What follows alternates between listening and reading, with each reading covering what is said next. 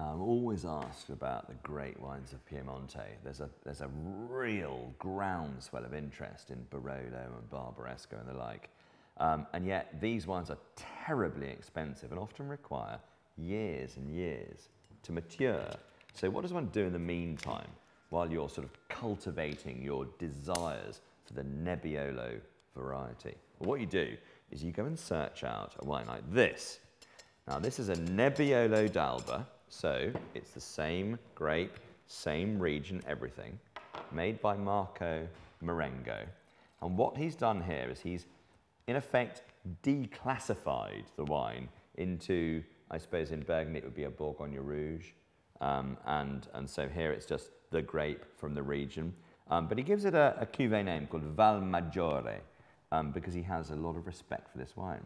This might have made its way into being a uh, Barolo, but it hasn't. And that for, for that reason, it's a lot cheaper.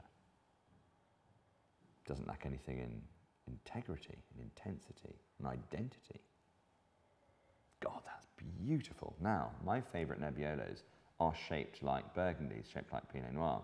They're not um, that heavy. You can see the colour's quite light.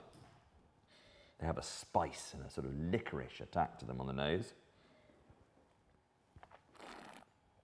And on the palate, where you'd normally get a whack of tannin coming in, it's just crisp acidity. So here is a very smart Piemontese wine made by one of the true gurus that is 16 odd quid, ready to go and totally delicious. You really ought to search this wine out.